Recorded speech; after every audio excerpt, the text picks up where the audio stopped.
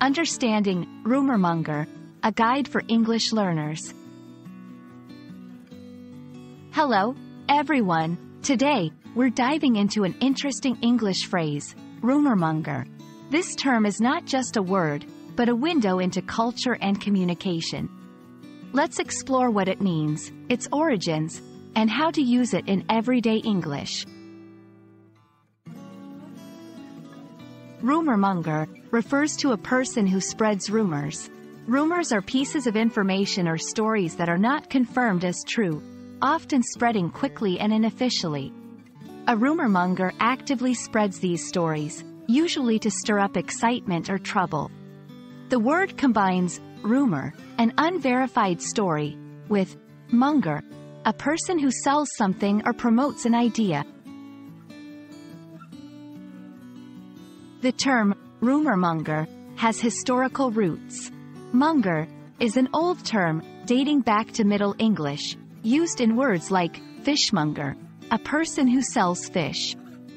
By adding monger to rumor, the word implies that someone is dealing in rumors, similar to how a fishmonger deals in fish.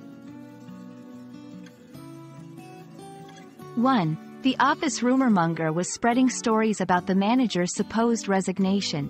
2. I don't trust her. She's known as a rumor monger in our neighborhood. 3. After the false news spread, the CEO wanted to find the rumor monger responsible. These examples show how rumor monger can describe someone in various social situations, often with a negative connotation.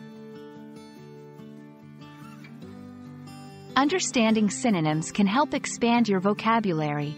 Similar words to rumormonger include gossip, talebearer, scandalmonger, tattler.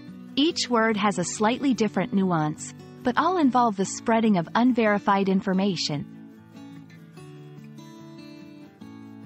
I hope this video has shed light on the meaning and use of the word rumormonger. Remember, language is not just about words. It's about culture, behavior, and communication. Happy learning, and see you in the next video.